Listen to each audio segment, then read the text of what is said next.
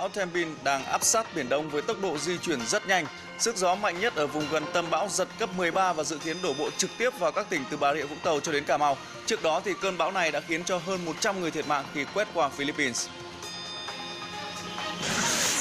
Số người thiệt mạng do cơn bão nhiệt đới Tembin hoành hành tại Philippines đã tăng lên hơn 100 người và hàng chục người mất tích. 50.000 người cũng phải di chuyển chỗ ở do bão. Bão Tembin đã đổ bộ vào đảo Mindanao, đảo lớn thứ hai của Philippines, gây ra lũ lụt và lở đất, chôn vùi một ngôi làng hẻo lánh. Sức gió trong bão lên tới 80 km một giờ. Tỉnh Lanao del Norte là khu vực bị ảnh hưởng nặng nề nhất. Ở đây nhiều đường dây điện bị cắt và giao thông cũng chia cắt, gây ảnh hưởng tới hoạt động cứu hộ. Mỗi năm, Philippines thường hứng chịu khoảng 20 trận bão, gây thiệt hại về người và của. Siêu bão Haiyan năm 2013 đã cướp đi sinh mạng của 8.000 người và làm khoảng 200.000 người rơi vào cảnh không nhà cửa. Lúc này, bão Tembin vẫn đang di chuyển nhanh và hướng về phía Biển Đông. Vào 4 giờ chiều nay, bão Tembin giữ cường độ mạnh cấp 10, cấp 11, giật cấp 14. Tâm bão cách đảo Palawan, Philippines khoảng 130 km về phía đông nam. Dự báo khoảng đêm nay, bão sẽ đi vào Biển Đông theo hướng Tây Tây Bắc và còn mạnh thêm. Đến 4 giờ chiều mai, cường độ mạnh lên cấp 11, cấp 12, giật cấp 15, tâm bão cách đảo Trường Sa lớn thuộc quần đảo Trường Sa khoảng 170 km về phía đông.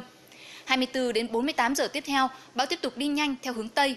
Đến 16 giờ ngày 25 tháng 12, tâm bão cách bờ biển Bà Rịa Vũng Tàu đến Cà Mau khoảng 250 đến 350 km về phía đông. Cường độ bão mạnh cấp 12, giật cấp 15.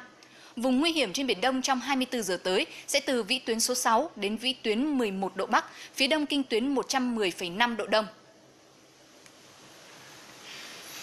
Bão Tembin được nhận định là cơn bão cuối mùa mạnh nhất trong nhiều năm trở lại đây sẽ đổ bộ vào đất liền Nam Bộ vào đêm ngày 25 tháng 12. Vùng đổ bộ dự kiến là từ Bà Rịa Vũng Tàu cho đến Cà Mau là khu vực ít có bão, kinh nghiệm ứng phó với bão còn hạn chế và cũng không tránh khỏi tâm lý chủ quan. Trong sáng ngày hôm nay thì Ban chỉ đạo Trung ương về phòng chống thiên tai đã họp trực tuyến với các tỉnh thành trong khu vực bị ảnh hưởng của bão để sẵn sàng các phương án ứng phó. Vùng bão đổ bộ là khu vực rất nhiều bất lợi cho chúng ta, nên tinh thần cảnh giác cao nhất, quyết liệt nhất là điều quan trọng đầu tiên mà Ban chỉ đạo nhấn mạnh đến các địa phương. Đây cũng chính là cái vùng xác suất bão vào ít nhất. Do đó, từ thiết chế hạ tầng, đặc biệt là nhà dân, thì cái cấp độ ờ, chất lượng cũng như cấp độ để thích ứng với những cái thiên tai lớn như thế này thì hầu như là trước đây là chưa có. Thế đây cũng là đời vùng gì phát triển kinh tế, đặc biệt kinh tế thủy sản. Nuôi trồng biển, nuôi trồng đất liền, quy mô lớn mà tổn thương lớn nhất. Và phải nhắc thêm một điểm nữa, hiện nay là chúng ta tập trung đang là những ngày cuối năm, bộn bề công việc khác. Do đó không dồn sức chỉ đạo chỗ này, không xác định nhiệm vụ chính trị. Một trong nhiệm vụ quan trọng nhất là tập trung ứng phó cơn bão này. Thì chắc chắn là nó sẽ gây ra cái hậu quả rất là lớn. Phạm vi ảnh hưởng gió mạnh, sóng lớn trên biển cũng rất rộng. Đang vụ cá Bắc nên tàu thuyền hoạt động từ vùng biển Quảng Nam tới Cà Mau rất nhiều. Các địa phương cần tích cực kiểm đếm, hướng dẫn kêu gọi tàu thuyền về nơi tránh trú an toàn. Cần ra soát và khẩn trương di dân ở những vùng sạt lở, sung yếu, khu dân cư ven biển, đề phòng nguy cơ nước biển dâng cao kết hợp chiều cường. Các địa phương cũng cần huy động lực lượng hỗ trợ nông dân thu hoạch nhanh gọn, hơn 260.000 hecta lúa mùa và lúa thu đông đã chín để giảm thiểu thiệt hại.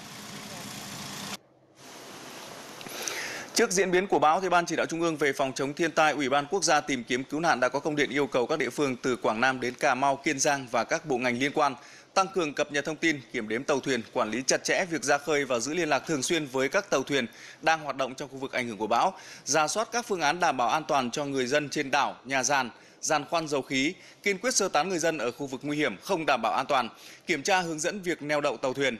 Các địa phương thực hiện cấm biển chậm nhất là vào 16 giờ ngày 23 tháng 12 các địa phương hoãn các cuộc họp không cần thiết để tập trung ứng phó với bão, đảm bảo an toàn cho hệ thống đê điều, hồ đập, khẩn trương thu hoạch lúa, hoa màu, thủy sản theo phương châm xanh nhà hơn già đồng, phân công các thành viên ban chỉ đạo phòng chống thiên tai và tìm kiếm cứu nạn trực tiếp đến các địa bàn sung yếu để kiểm tra giả soát phương án ứng phó với bão theo phương châm 4 tại chỗ.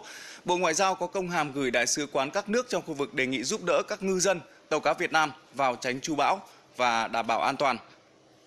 Tăng cường uh, lực lượng trực ban 24 trên 24 giờ đảm bảo cung cấp thông tin kịp thời, đầy đủ, thường xuyên về Ban chỉ đạo Trung ương về phòng chống thiên tai và Ủy ban quốc gia tìm kiếm cứu nạn.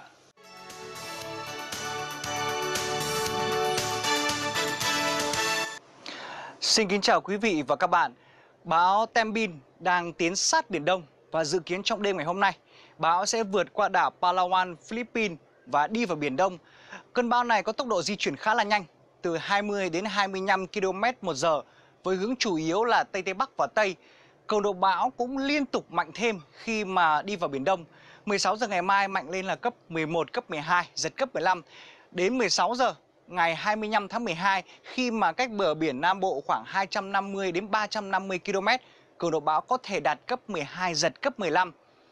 Ngay trong đêm ngày hôm nay thì khu vực phía đông quần đảo Trường Sa sẽ bắt đầu có mưa bão, gió mạnh là cấp 7, cấp 8, vùng gần tâm bão là cấp 10, cấp 11, giật cấp 14, biển động dữ dội. Ngoài ra không khí lạnh bổ sung vào đêm nay cũng khiến cho thời tiết nhiều vùng biển chuyển xấu. Khắp từ Vịnh Bắc Bộ xuống đến tận mũi Cà Mau từ gần sáng ngày mai, gió mạnh lên cấp 6, cấp 7 và giật cấp 8. Bắc Biển Đông gồm quần đảo Hoàng Sa, gió cấp 6, cấp 7, giật cấp 9, biển động mạnh. Các quần đảo Thổ Chu, Phú Quốc trời ít mưa, gió cấp 4 đến cấp 5.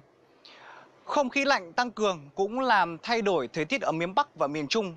Ở miền Bắc thì gió từ mặt đất lên đến độ cao là 1.500m sẽ đều chuyển hướng đông bắc khô, xua tan mây ẩm. Vì vậy, trưa và chiều ngày mai sẽ chuyển nắng và nhiệt độ cao nhất tại thủ đô Hà Nội và các thành phố khác phổ biến trong khoảng từ 20 đến 24 độ.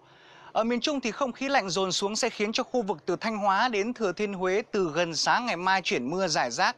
Tuy nhiên, lượng không lớn và kìm giữ nhiệt độ ngày mai không nơi nào quá 22 độ. Cuối bản tin là dự báo cho các vùng trên cả nước vào ngày mai.